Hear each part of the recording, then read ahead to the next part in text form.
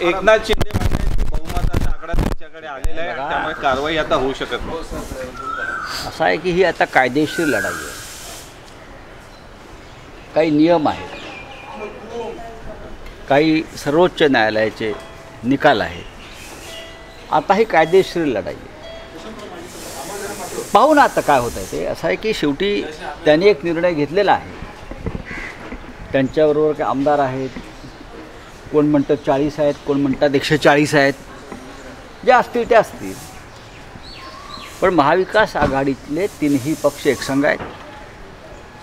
ठीक आहे शिवसेनेचा आकडा कमी झालेला आहे. लोकशाही बहुमत हे आकड्यांवर चालतं. पण मी पुन्हा सांगतो आकडा आणि बहुमत फार चंचल असतं. ज्या दिवशी हे आमदार इथे मुंबईत येतील त्यानंतर त्यांच्या निष्ठेची बाळासाहेबांवरील भक्तीची आणि शिवसेनेवरील श्रद्धेची खरी कसोटी लागली.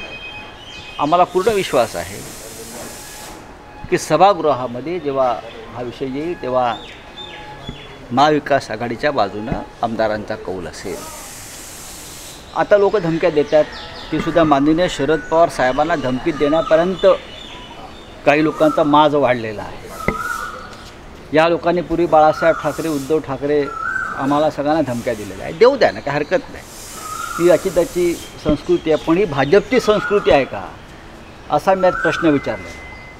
की शरद पवार साहेबांना घरी जाऊ देणार नाही असा धमकी जर कोणी देणारा या महाराष्ट्रात असेल तर त्याचा विचार प्रधानमंत्री मोदी आणि केंद्रीय गृहमंत्री अमित शहा यांना करावा लागेल. या देशात लोकशाही आहे. या देशामध्ये स्वातंत्र्य आहे.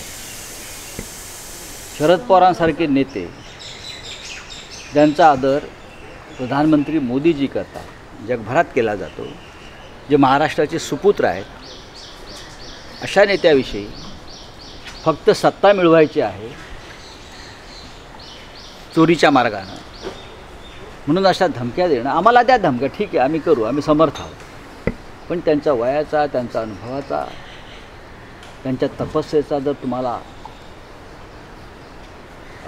आदर नसेल तर मला असं वाटतं आपण मराठी म्हणून घ्यायला नालायक आहोत.